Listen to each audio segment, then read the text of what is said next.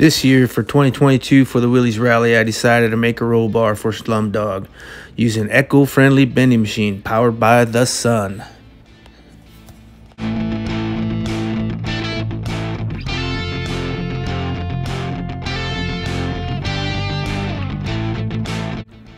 I wanted to make a stealth roll bar that would tuck nicely under my half top, using the KISS theory.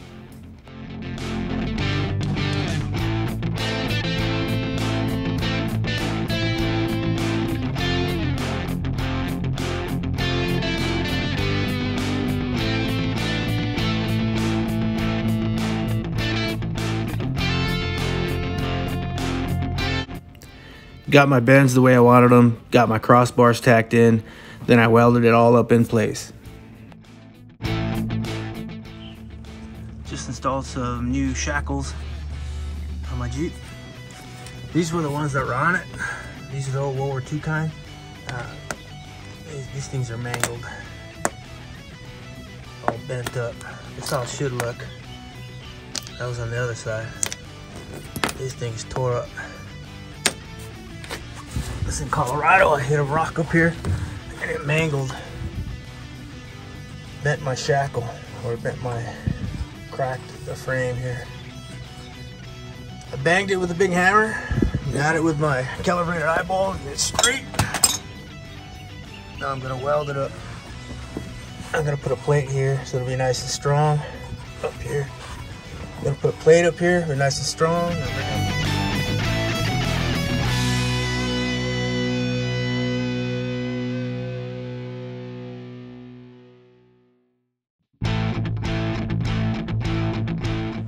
3 8 plate in there, should hold it pretty good. Uh, welded up that crack right there. And then, uh, should be fine now. We'll see. so, gonna clean these up, throw some rattle can on them. And replace them. Those old World War II ones, they are not very strong. They're strong enough, but not for Moab.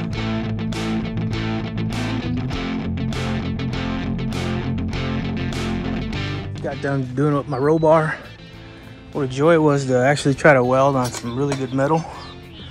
I am always welding up on uh, on really rusty stuff and it always popping and cracking and popping, but I was able to, it was really joy. A joy to weld up on this nice brand new metal. The joints fitted. Just cleaning off the the crap that's on here with some acetone. Start spray painting it with some OD. Put it back on there and we should be ready. We should be ready for Moab.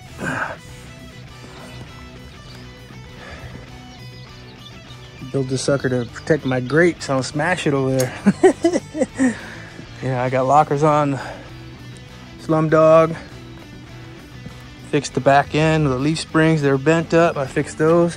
I got to take off those uh, bumperettes though, because those guys took some damage last time. So I'm gonna take those off and uh, paint and remount that roll bar I just made up and uh, clean this guy up, oil change, and ready to go.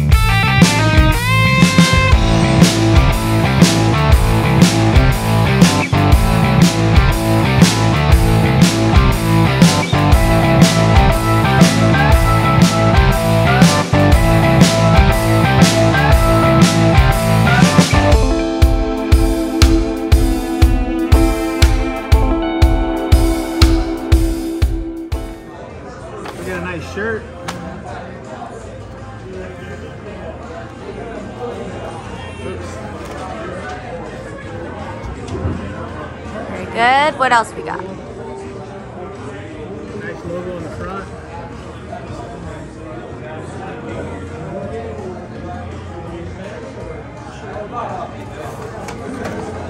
The Kaiser Willys catalog.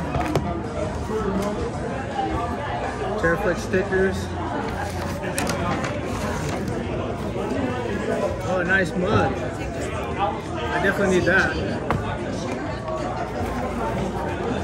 Okay, old Willys sticker. Mine's falling off on my Jeep, so I might replace it with this. Or I might just put this on my on my, on my new coffee mug here. Some more stickers. We're Rugged Outdoors. Nice little keychain. And for your brewskis.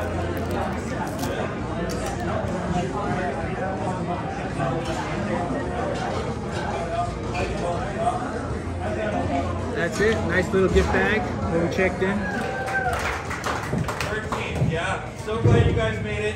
I know you're all hungry. I am. It's 5.30 and these guys are ready.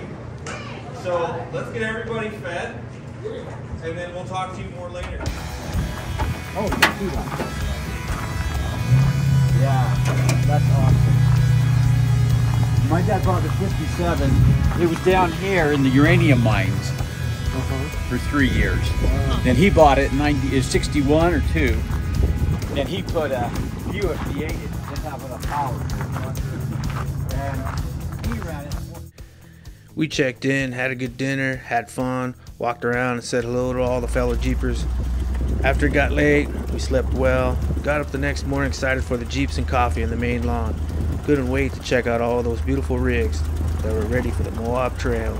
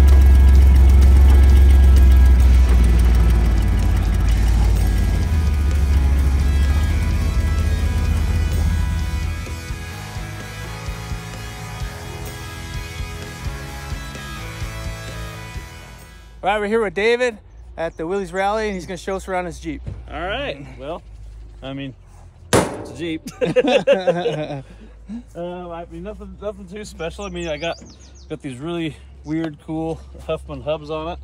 That's kind of a special feature, I guess, a little different. So those ones to to lock them in and out, you got to kick it off. Then you got a gear inside that you flip around to lock it or unlock it. That's kind of different. A people don't have those. Wow.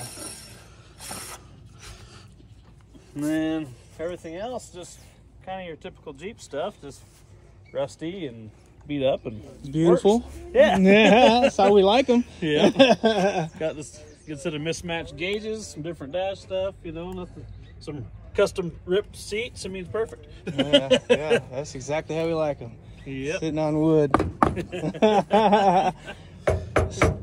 Beautiful. I love it. Yep. on the back, mine was a farm Jeep at one point in time, so it's got a PTO on it. Sweet.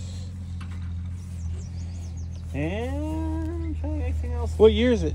48. 48. That's the same as mine. Same as Yep. Slumdog. Oh, cool. Yeah, right Very on. cool. Oh, you got Krieger hub? Gotta, That's gotta, awesome. gotta class it up a little bit, you know. Yeah, that's beautiful. Class it up. Bring up the value there. Heck yeah. So How many times you been been over here at the Willys Rally? I think this I remember my third or fourth time now. Oh, okay, Yeah, cool. Yeah, I yeah, met you last year. I, I absolutely loved your Jeep. Yeah, Yeah, heck of a lot of fun. yeah, beautiful. All right, let's check out the engine. This is the best part of the whole, whole Jeep. Is right there. So I had that. a I had an old sign painter that lived in my town custom paint this for me. He just does it all freehand and tra- actually traded him some work for it. Is what I did, but Oh, he, sweet. uh, I got And you're, you're an engine builder, right? mechanic, but yeah, I mechanic, build, yeah. build engines, do all that stuff, Uh-huh. yeah, for sure. So Wow. traded That's some work on his Corvette for it. So really, yeah. Yep. That's awesome. And then it, this engine, yeah, I just got it rebuilt. This is the second year I've been down here with it rebuilt. First couple years I came down, it was using more oil than fuel, but Uh, but other than that, yeah, it's just the old Sweet. flathead four cylinder. I like your battery. Yeah, yeah. Only came out once and fried itself, but Oh yeah. just strap it down a little better this time. oh, that's cool. yeah, works pretty good. Works pretty good. Nice. It's stock four cylinder L Yep, still have L one thirty four, huh? nothing special. Yep. Nothing special. Just You didn't upgrade anything else. You even got the well, I mean, I bored it out a lot bigger and cut the headway down so get a little more compression, but Oh, okay, cool. so a little bit, but nothing, Yeah. nothing too, nothing too wild. Uh huh. When you got this engine, was it all jacked up? Or It was, you know, actually, so the original engine that was in this, I've got it sitting on the floor of my shop. Uh-huh. This is one I snagged off a buddy that he just had laying around. oh, okay. and this engine wasn't too bad. It had already been overhauled once before, so we had to bore it like way over. So it's got 60,000 silver pistons in it and stuff, Uh huh. which is good, but it, heat heat is an issue. So that's Uh-huh. why we're back to an aluminum radiator instead of the original one. Yeah. Because it wasn't quite keeping up. Yeah. That's always good. I was always getting hot. Yeah. Yeah, But- that's always an issue on our on our flat fenders. Oh man, it's Yeah. always getting heat out of these things, man. Absolutely. Always yeah. Right on, man. All right, David. Thanks for showing us. Yeah, you bet. you bet. Way cool. Heck yeah, man. Way cool. Hey guys, this is Oscar's all the way from Costa Rica. How you doing, Oscar? Very well. All right. He came over here to do the Willys Rally with us. Thank you for coming. all right.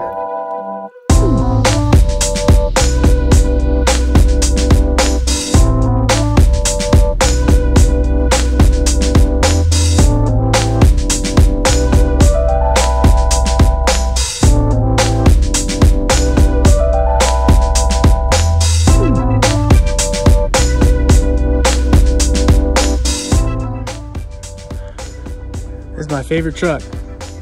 You know why? Because it's got the Buick V6. Beautiful.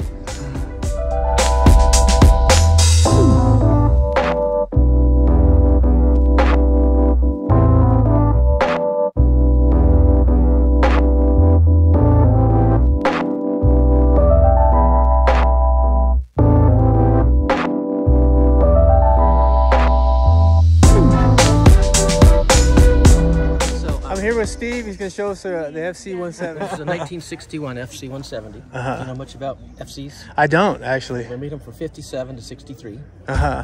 and you might see one titled 64, 65. But that was in general when they built them. Okay. And there's two models, FC-150, one FC-170. FC-150s are basically a CJ5 with a cab on it. And then they redesigned them and then made a wide track where the springs are outboard of the frame just like all FC-170s. And all FC-150s have a four-cylinder, the F-head, just like a CJ5. And of course, they didn't have the V6 until 65, so all FCs have only one option on their engines. What FC150s had a F-head 4, and all FC170s have a L6226, just like a station wagon or pickup. So there was no engine options. Oh, now you could get an optional four-speed T98 like any Jeep. Uh-huh. They're pretty rare. Usually businesses or governments had four speeds. It's really rare to see a FC150 with a four-speed, but they're out there. Uh-huh. So basically, it's got a 103 and 5 8 wheelbase, just like a station wagon's 104. So they're really similar to a station wagon, a little bit wider, and with the same running gear. T90 transmissions in general. Does it ride smooth? I like the FC170s better than the FC150s off road. The 150s are a little bit shorter wheelbase. I, I, I've had FC150s with a short wheelbase. Oh, and they're, they're pretty rough to ride off road. Uh-huh. These actually ride really good off road. Oh, you bounce okay. a lot, Uh-huh. but it's not uncomfortable. Oh, I see. So, uh, I really like my FC170. yeah, that's pretty sweet. I love it. What else can I tell you about them? That's, that's in general, like off the top of my head. Can you show us inside? And it's kind of messy inside. That's uh, that's perfect. So that's the way the dashboard is. Same speedometer as any Jeep of that era. Uh-huh. Heater's right in the middle. The visibility is great on these. I love Yeah. pulling up to an intersection. Yeah, you can You're, see you're everything. forward and you're up higher than all the bushes or parked cars. You can see see pulling out in an intersection in town. Accessibility to the engine is pretty good, huh? Yeah, uh, let me um I thought it'd be harder. Yeah, I'm looks all- like you're able to get in there pretty good. full of, full of things ready for the trip and doing Uh-huh. things.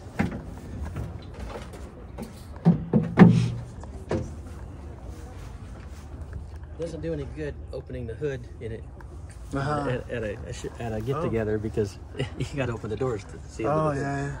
Oh, cool. And you could you could access the, Mm-hmm.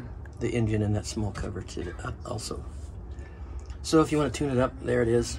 Uh, it's all, it's all right there. It has there's the air cleaner and there's the surge uh, surge tank for the radiator. Mm-hmm. Oh, it's all up in there, huh? Where's the radiator? Up in the front, of course, right? Yep, the front, of course, yeah. How do you access the radiator?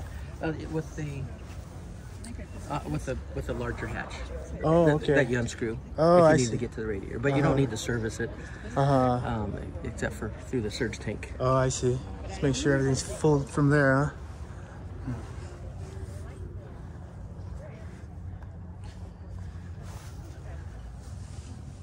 Seven and a half. About Seven and a half by These- 16s? Yep, these are 750 16 tires, which is what they came from the factory.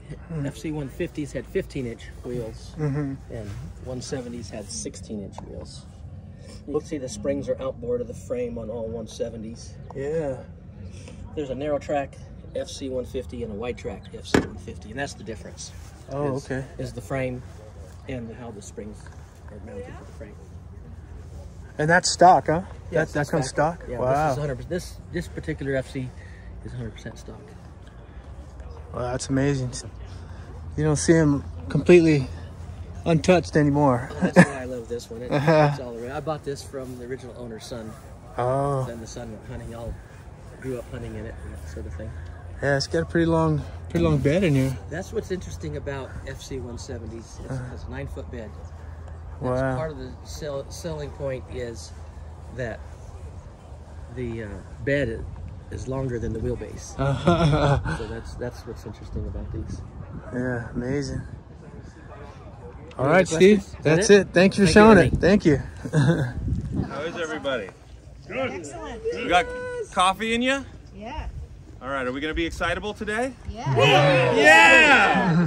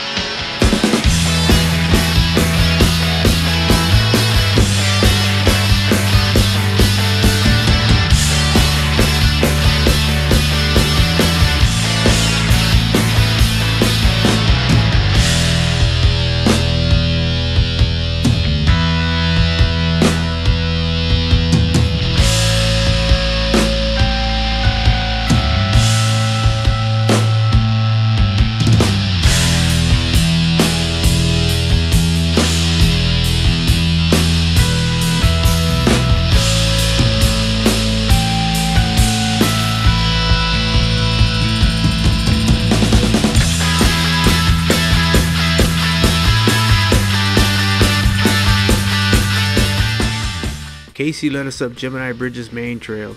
It's kind of the main street in this area. It feeds many other trails. Casey picked an easy one with beautiful scenery so that all of us could enjoy it.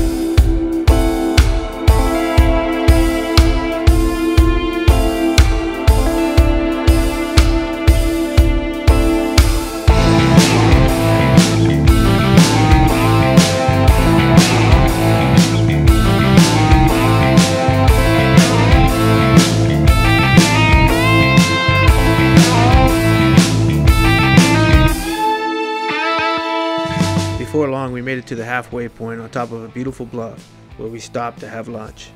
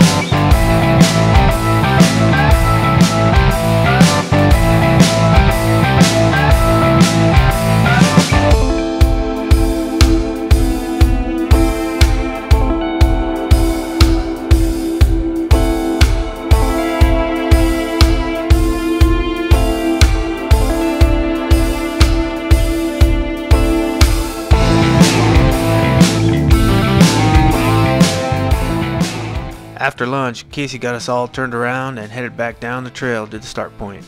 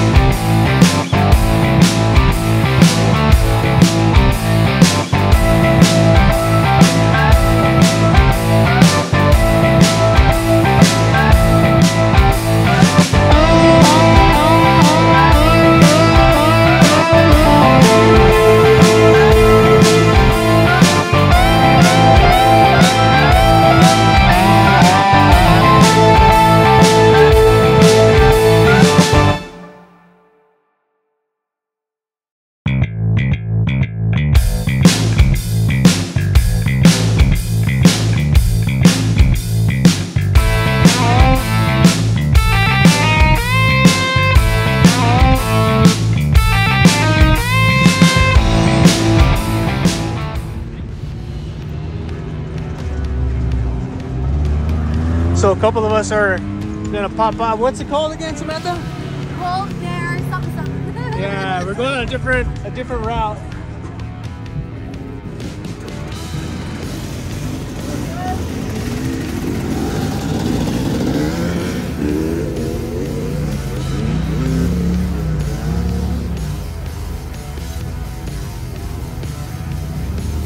All right, a couple of us are breaking off and we're gonna go to Gold Bar Rim.